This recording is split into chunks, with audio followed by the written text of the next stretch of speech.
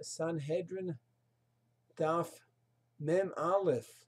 We're talking about the Sanhedrin, and a fascinating question comes up. When did we stop judging death penalty cases?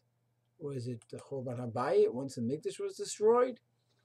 Was it another factor once the Sanhedrin was dissolved, or something else? So the Gemara says the Mikdash was around, the Sanhedrin was around, and still we stopped judging cases of the death penalty.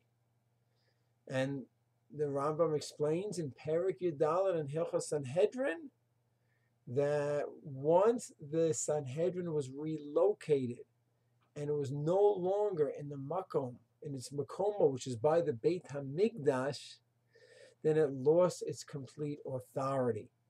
And it can no longer judge cases where there's a death penalty. So, interestingly enough, it's not dependent on the Mikdash necessarily. It's not dependent on the existence of the Sanhedrin necessarily. It's the Sanhedrin in its Makomo, in its right place.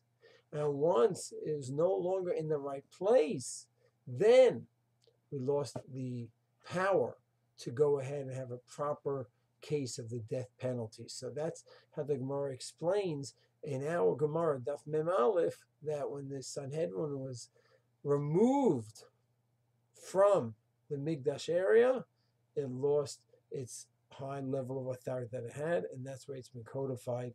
And it's a Shem. We're going to have the Mikdash back, we'll have the Sanhedrin back, and then everything will be back in its place in the full sense of the word Shalom.